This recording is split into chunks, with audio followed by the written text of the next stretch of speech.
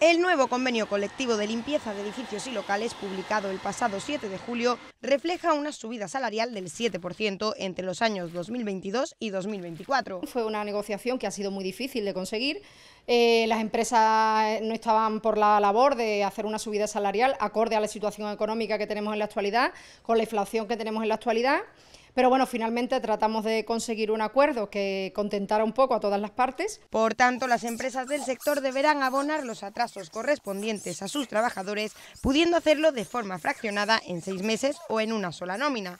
El problema es que muchas de esas empresas a mes de septiembre aún no han comenzado a pagarlas. Hay empresas que ya lo están empezando a hacer, pero hay otras, y estamos hablando de empresas grandes, que no lo han hecho todavía y se están rezagando un poco a la hora de abonar esos atrasos. Es por ello que desde Comisiones Obreras se ha instado a los negocios del sector a abonar esas cantidades a sus trabajadores. Ahora hemos hecho una nota de prensa, eh, si no el mes que viene no han procedido a abonarlo, mandaremos cartita a las empresas, iremos increciendo pues de acuerdo a, a, cuando se vayan agotando los plazos.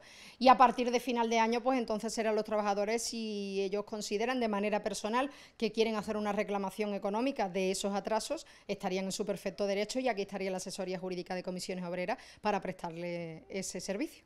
Cabe destacar que de este sector forman parte alrededor de 2.000 trabajadores. Es un sector importante de Ceuta. Sobre el convenio colectivo, el sindicato ha señalado que además de la subida salarial, conlleva un día más de asuntos propios y una subida de las indemnizaciones por incapacidad permanente de 9.000 euros y por fallecimiento de 5.000 euros.